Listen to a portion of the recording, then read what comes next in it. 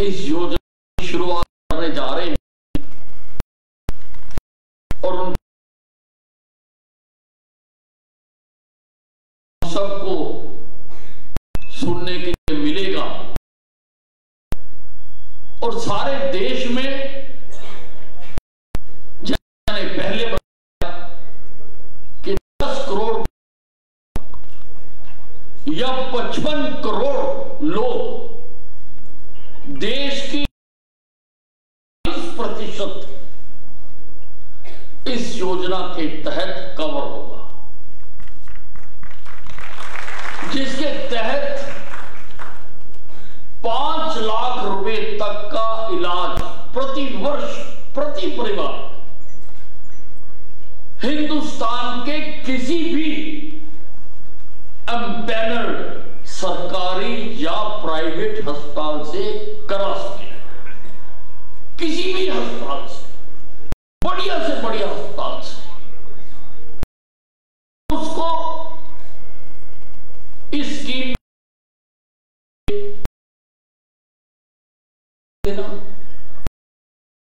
अस्पताल में जाने पर उसको कोई कैश नहीं देना। कैश दे दिया। और बाद में बिल पास करवाने के लिए दफ्तरों के चक्कर ऐसा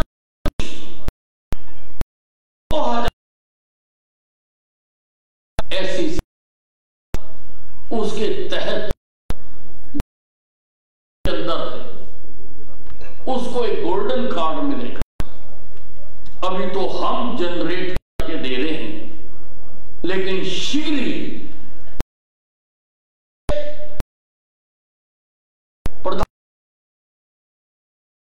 तक वो कार्ड पहुंचेगा जिस परिवार में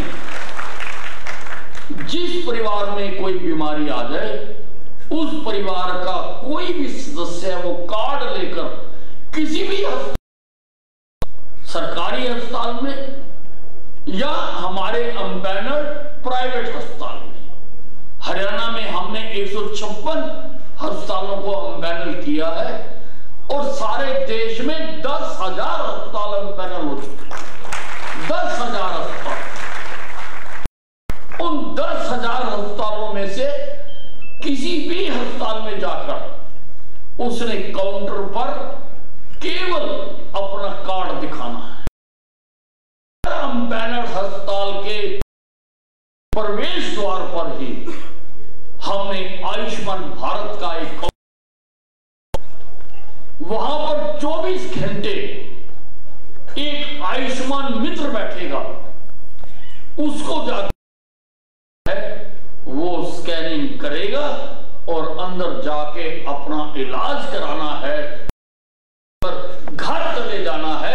एक नया पैसा भी किसी को देना नहीं है। एक नया पैसा। जैसा भी बता रहे थे। मेरा सौभाग्य है कि स्वास्थ्य विभाग में मुझे बहुत ही लगनशील अधिकारी और कर्मचारी मिले भाग्यवान मानता हूँ ऐसा आजकल होता नहीं है अधिकारी बड़ी मुश्किल से मिलते हैं मुश्किल से मिलते हैं लेकिन जिस दिन ये योजना आई मेरे सारे अधिकारी इसमें लगे सबने इस योजना पर काम किया ये दो तरह की योजना थी। एक इंश्योरेंस एक ट्रस्ट मोड इंश्योरेंस में सबका बीमा कराना पड़ता था और फिर इंश्योरेंस कंपनियों को भी। लेकिन हमने उसको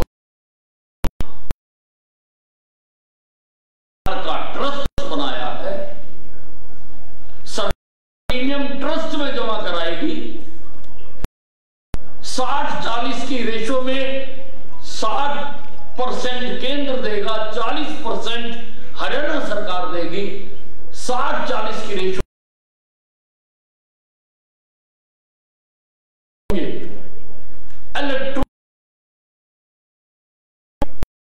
मरीज़ को कहीं नहीं जा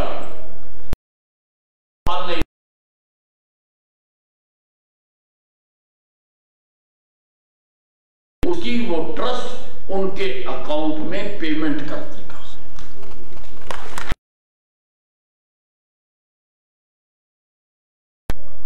तो मेरे अधिकारियों ने दिन रात एक करके इस योजना को, योजना पर ऐसे काम एक अधिकारी या कर्मचारी के नाते नहीं, एक समाज सेवक के नाते, एक समाज सेवक के नाते कि इस सारे देश में हम प्रथम आए हैं वो बता दिया गया मैं अपनी बात शॉर्ट कर रहा हूँ क्योंकि मोदी जी का आरंभ हो चुका है और मुझे पूरी उम्मीद और विश्वास है कि हरियाणा में भी सभी लोगों को इसका पूरा लाभ मिलेगा धन्यवाद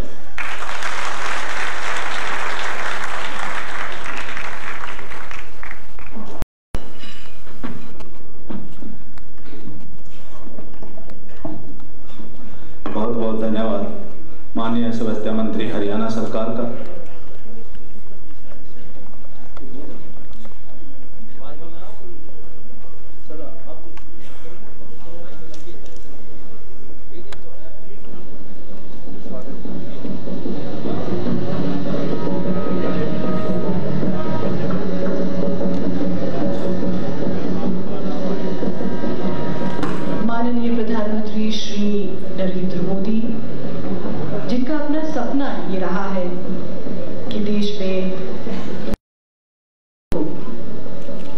स्वास्थ्य सुविधाएँ और वो भी गुफ्त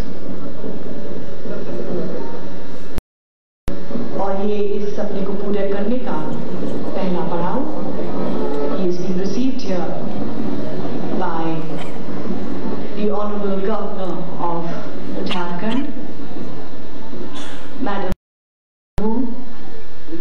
chief minister Shri Raghubar Das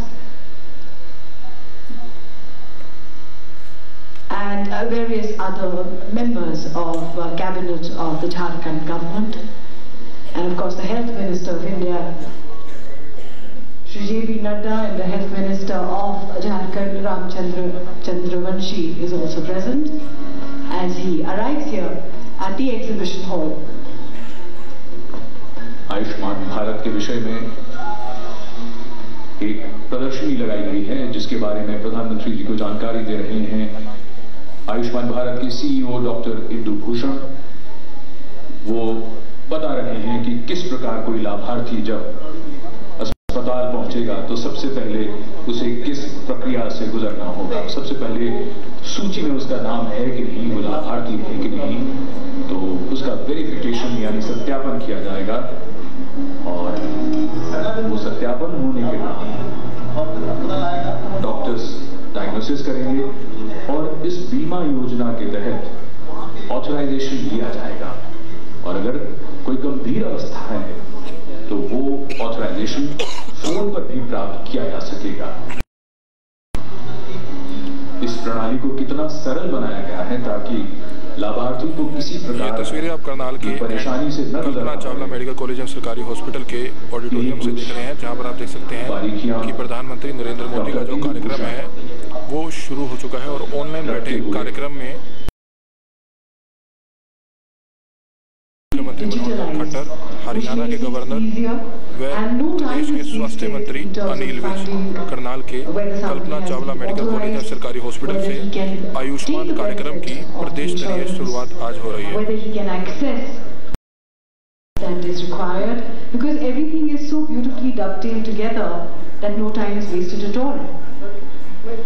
लेकिन सबसे बड़ी चीज़ यही है कि ये योजना पूरी की पूरी कैशलेस है यानी जो लाभार्थी है उसे किसी प्रकार का पैसा खर्च नहीं करना है और पेपरलेस है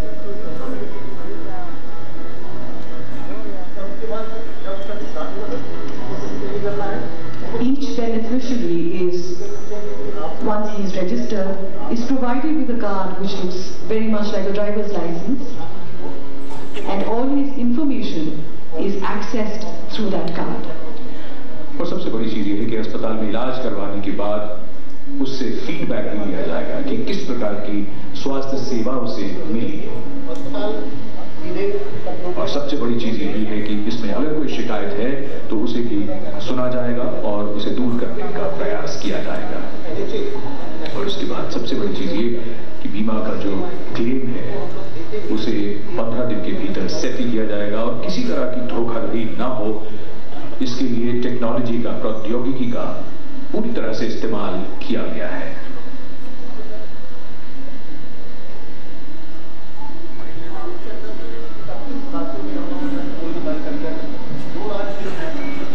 The Honorable Prime Minister is now being shown a live demonstration of how the Arogya Mitra works with the beneficiary and here we are also seeing a demonstration of where all the Ayushman Bharat scheme has been launched and is already in effect, 31 states and union territories. And this is a federal system with the center and the state participating in this process in the ratio of 60-40. प्रधानमंत्री जन आरोग्य योजना किस प्रकार लागू की जाएगी? उसकी बारीकियाँ हैं ये। कितने राज्यों में लागू हो रही है एक साथ? और धीरे धीरे इसमें कितने राज्य और शामिल हो जाएँगे? इसके अलावा बीमा कंपनियाँ या स्टेट की अपनी हेल्थ एजेंसीज किस प्रकार शामिल होंगे? या वो मिक्स मोड रहेगा? इस विषय में डॉक्टर इंदु भूषण